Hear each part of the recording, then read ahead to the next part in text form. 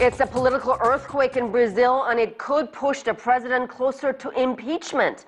The country's largest political party just voted to leave the coalition with President Dilma Rousseff's party. That means she could lose the congressional votes needed to fight impeachment proceedings. Rousseff is implicated in Brazil's deep recession and a growing corruption scandal.